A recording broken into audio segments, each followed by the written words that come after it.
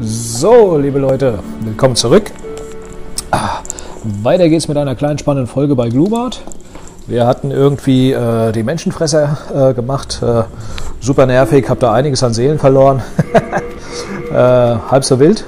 Ähm, auf die Gefahr hin, dass auf jeden Fall gleich ja, der DHL-Mann klingelt ja, und uns hier aus dem Spiel rausreißt. So, ähm, werden wir jetzt erstmal unsere Seelen verfüttern. Äh, die eine oder andere konnten wir ja retten, damit wir vielleicht das eine oder andere Levelchen auch steigen können. Ähm, grundsätzlich bin ich eigentlich mit dem Milch hier ganz zufrieden. Boah, das Bein zuckt.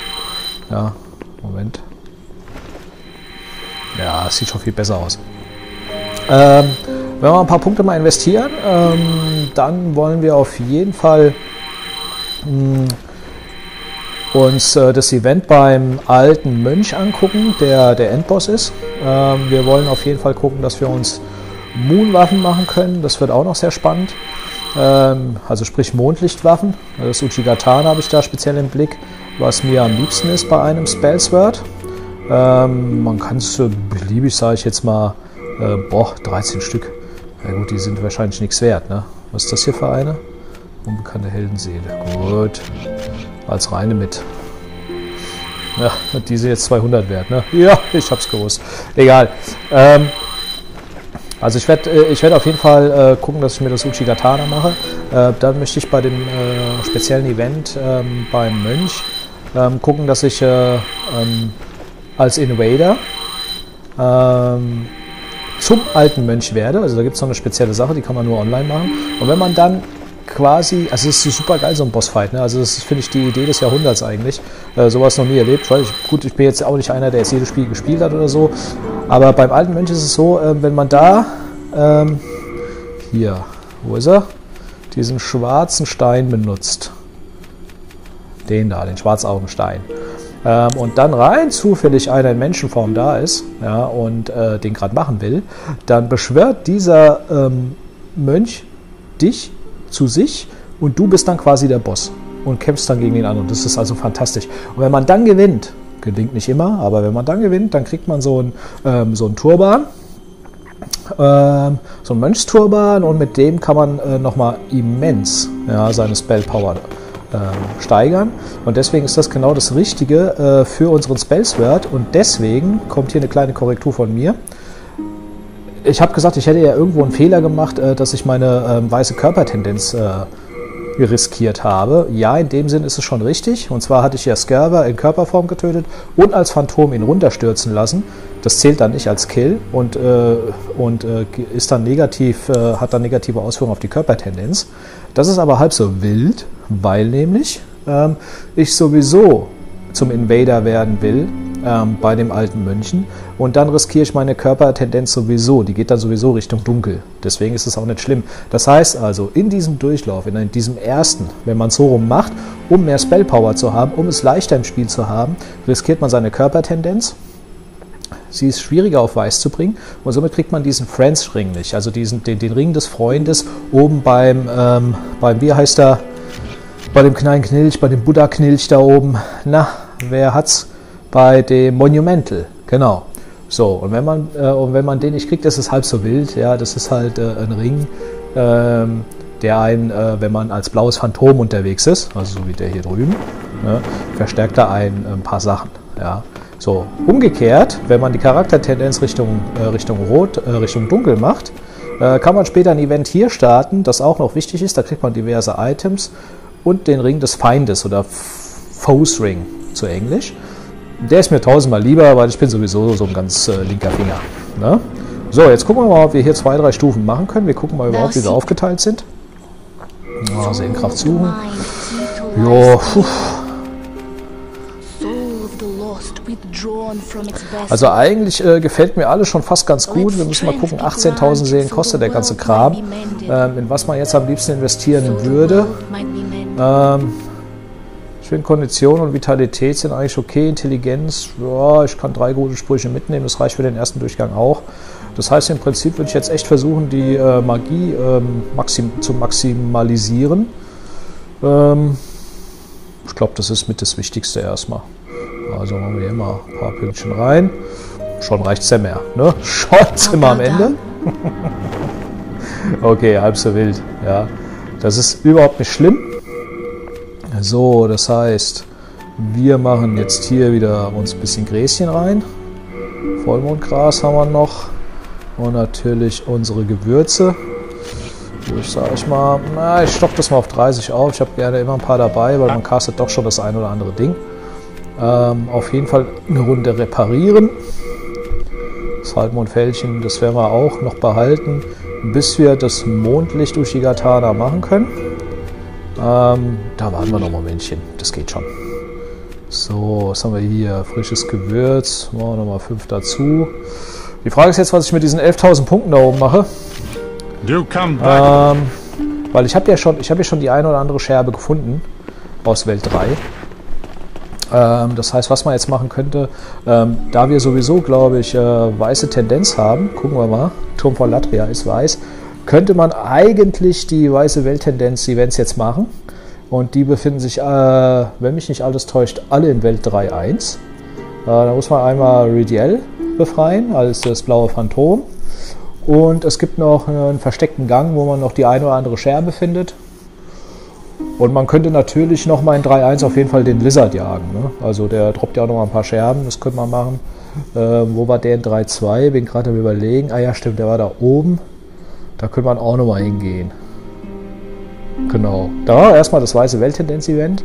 Ähm, weil dann ist das Ding etwas dunkler und je dunkler die äh, Welt ist, äh, desto besser droppen die Items. Weil beim letzten Lizard, ähm, kurz vor dem alten Mönch, kurz vom Bossnebel, der droppt nämlich ähm, die, ähm, die, ähm, die reine Mondlichtscherbe und die ist mir extrem wichtig, weil wenn ich das, wenn, dann will ich das Uchigatana auch gleich auf plus 5 bringen und dafür brauchen wir eine. Okay. Oh, uns ein bisschen erleichtern können an Items. Ja Gott. Ist ja alles, äh, alles, ja, das kann man hier bleiben. Hm, das kann auch hier bleiben. So, boah, die Dämonenseelen, mein Gott, wir nehmen sie mal mit. Wir können natürlich noch gucken, ach ja, also da haben wir schon einiges an Scherben gefunden. Die Scherben sind noch nicht so der Bringer. Ja, also das ist äh, nicht so der Knaller. Man könnte in 3.1 bei der Händlerin noch mal gucken, was die so verkauft. Ja, äh, wenn die gut was verkauft, dann können wir noch mal gucken, ob man da nicht irgendwie noch mal was zusammenkriegt. Okay, hier haben wir Mond Kurzschwert. Das brauche ich nicht, das brauche ich nicht. Den kann auch hier bleiben, das kann hier bleiben. Wir nehmen unser Standardkram mit, so wie wir es gewohnt sind. Genau, das haben wir noch. Düstere Rüstung. Silberarmreich behalten wir, falls wir dann doch irgendwann uns noch mal entscheiden, farmen zu gehen. Und hier haben wir eigentlich soweit auch alles. We are indebted to you. Gut, gut. So, welche Welt wollten wir denn dunkel machen? Das war Schrein der Stürme, wenn mich nicht alles täuscht. Äh, das heißt, da gehen wir kurz rein und sterben. Ne? Das war ja mit diesem das war ja dieser Endlosfall. Ah. Übrigens, Schrein der Stürme ist, äh, ist äh, super hart zu spielen, ne, wenn es komplett dunkel ist. Ähm, das werden wir dann auch noch äh, demnächst noch uns angucken können. Ne? Aber hier, hier, hier bringen wir uns jetzt erstmal um die Ecke. Diesmal nicht vergessen, ähm, die Blutlache mitzunehmen. Das letzte Mal haben wir sie liegen lassen. Weil ich gesagt habe, ach, die paar Seelen da. Aber ist ja auch richtig, ja. Ich meine, ich meine, sie braucht ja kein Mensch, ja. Das, das, waren, das waren so ein paar wenige. Das ist, das ist dann wirklich wurscht. Ja. So. Einmal runter.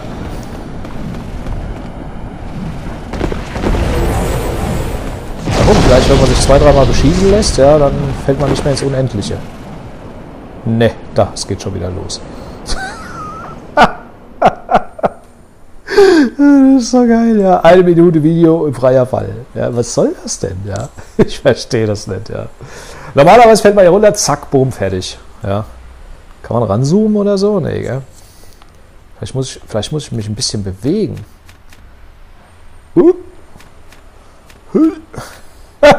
Oder schlagen. Auch nicht. Was casten? Geht auch nicht. Kann ich mal die Waffen wechseln? Ich, ich bin mir sicher, ich bin eigentlich schon tot. Ne? Das ist das Spiel des... Ah, jetzt. ah, nichts mehr übrig von der guten Frau. Ich könnte jetzt sogar wetten... Ha, das könnte sogar sein, jetzt passt auf. Jetzt, ich könnte jetzt sogar wetten, dass meine Blutlache hier gar nicht mehr liegt. Achtung. Ich krieg die Mod... Doch. Oh! Aber genau am Rand, seht ihr das? Das gibt's doch nicht.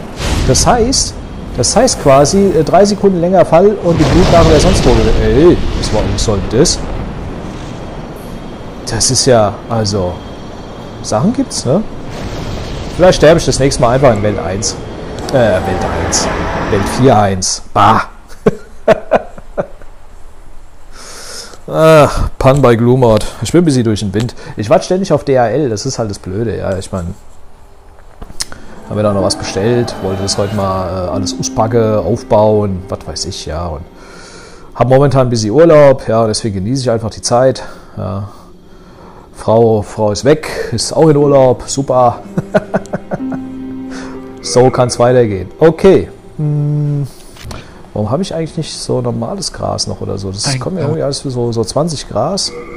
ist irgendwie so ein bisschen wenig, ne? Ja, oder noch sowas. Was ist das? Kann man auch noch mitnehmen. Das, das nehmen wir alles mal mit, das kann man alles mal futtern. Neumondgras, ja, das ist schon, das ist schon Gutes, aber ach, die sind so selten. Die brauchen wir vielleicht für ganz spezielle Dinge später. So, schauen wir mal. Das können wir erstmal rausnehmen. Wobei, das nehmen wir erstmal generell. Und den Rest den futtern wir dann einfach so, wenn es kritisch wird. Okay. So. Ab in Welt 3.1. Weiße Welttendenz machen. Gute Patches. Ach so, was, was verkauft denn der so? Oh, ja, ja. Gegenstand kaufen. Ah ja, guck mal hier, da kann man noch, kann man noch Gräsi kaufen hier, ne? Im Inventar. Das hier können wir noch mitnehmen, oder? Ja, dann haben wir, dann haben wir reichlich Gras, das passt schon. Das heißt, das heißt, das Billige ist auch das erste, was ich erstmal verbrauchen werde. Äh, das hier. Oh, ja, genau. Subi. So. Ähm, Welt, äh, weiße Welttendenz-Events, Turm von Latria, auf geht's. Äh, wie üblich äh, spiele ich auch wieder offline. Ähm, ja, einfach um die, um die Tendenzen halt noch kontrollieren zu können. Äh, das kann man natürlich irgendwann lockern. Das, äh, das machen wir jetzt aber im ersten Durchgang, machen wir das erstmal so. Ähm, später mal gucken. Also äh, ich zeige sowieso nur einen Durchgang. Also ich wollte jetzt mehrere nicht zeigen. Ich versuche euch nur einfach äh, alles mal ein bisschen zu zeigen, wo man, äh, wo man was findet, äh, damit ihr dann halt äh, wisst, okay, so gehen die Durchläufe. Weil im Prinzip ist dann jeder Durchgang sowieso nur eine Wiederholung. Es wird alles natürlich schwerer, weil die Gegner natürlich auch happiger sind, das ist ganz klar. Und ähm, ja, okay. Ähm, ja, hier sind wir. Und wir machen uns einfach mal auf den Weg, und zwar direkt hier rechts rum. Und äh, erledigen mal einfach jetzt mal die weiße Welttendenz-Events. Äh, das erste, was wir machen werden, wir werden Riddell äh, befreien. Der müsste... Ach, was ist denn jetzt hier? Achso, jetzt ist natürlich klar, ne, da man hier alles geöffnet hat, muss man ein bisschen aufpassen. Äh, weil der ein oder andere hier in diesen Zellenblocks, die sind ein bisschen aggro. Also nicht da einfach jetzt so da reinmarschieren, so locker flockig. Das könnte sonst, das könnte sonst wehtun. So.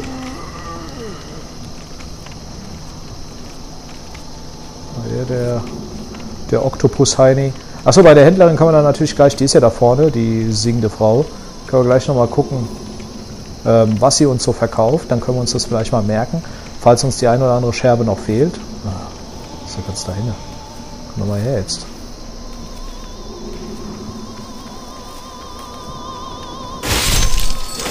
Oh oh.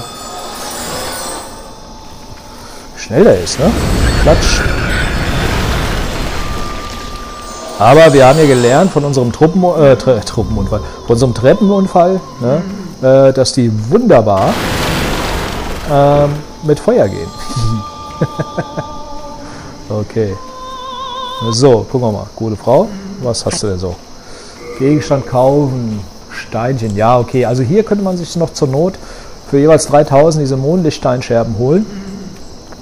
Ja, können wir uns mal merken. Müssen wir nicht. Ja. Ähm, jetzt sagen wir mal frische Fische, Gewürze mit. Thank you. Wenn wir schon mal so flüssig sind, Now dann müssen wir alles longer. Du bleibst noch ein bisschen, ich gucke mich noch ein bisschen um. So, okay. Ridiel, wo waren der nochmal? Wir müssen hier durch.